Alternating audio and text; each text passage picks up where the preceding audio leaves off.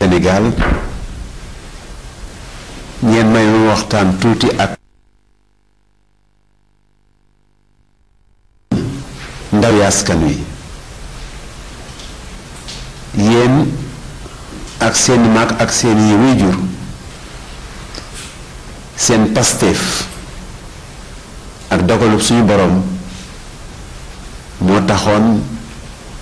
liñ naan alternance maanaam soppi am ci en 2000 ah boobaak léegi fukki at ak ñaar la xam ngeen ndax fi leen Ablaye Wade jële ak fi mu leen indi dafa gën wala dafa yées wante lu mu yées yées fii mu leen bëgg a dugal moo ko gën a yées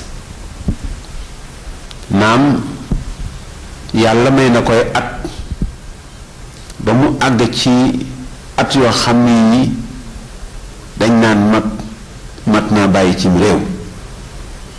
waaye buñ naan mag war naa bàyyi mat naa bàyyi cim réew Du mag mi nga xam ne ni dafay bëgg a ñëdd nguur di ko xañ ay doomam ak i sëtam waxuma doom yi mu jur de doomi Sénégal ak sëti Sénégal xañ boobu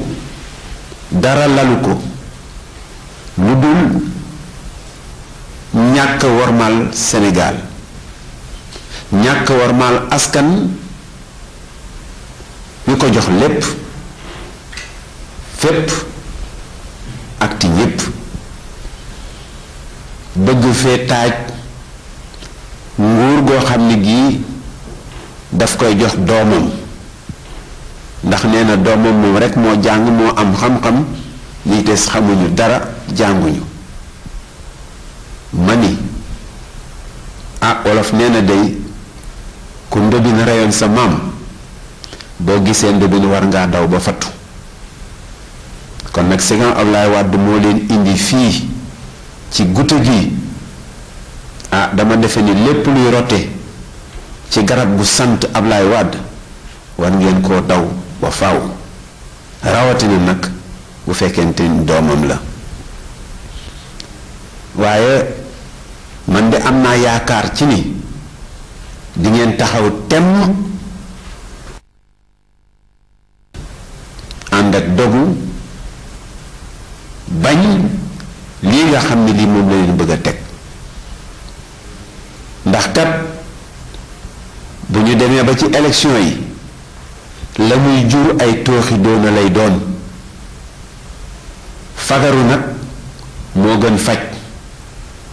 kon nag bay been ngeen taxaw fagaru taxaw temm ni lii du fi am ba faaw maa ngi leen di gërëm maa ngi leen di sant awma sikk sàkk ni bu ngeen taxawee lu ngeen bëgg ci réew mi di ngeen ko am jeunesse de mon pays je m'adresse à vous ce soir en effet vous avez joué un rôle déterminant dans l'avènement de l'alternance en l'an 2000 12 ans après vous avez tout le loisir de vous rendre compte que votre situation, loin de s'améliorer, s'est considérablement détériorée. Mais, pour grave que soit la situation aujourd'hui, elle sera pire demain si d'aventure l'ambition démesurée d'un homme pour lui-même et pour sa succession par son fils devait se concrétiser. Mais je sais que vous êtes décidé, déterminé à barrer la route à tout aventurisme. Il n'est pas besoin d'arriver au scrutin du 26 février pour se lamenter ensuite. Si vous ne pouvez pas changer de pays, vous avez le devoir de changer le pays.